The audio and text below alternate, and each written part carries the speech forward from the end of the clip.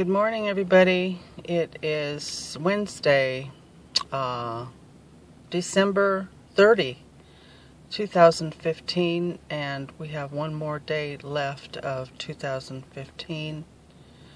Uh, praise God. I just wanted to say hi and good morning, and um, that God lift you up today, God touch your life, that God work out uh, things in your life that are troubling, and that He'll give you great success today, and peace, and safety, and health, and healing, and salvation for you and your family.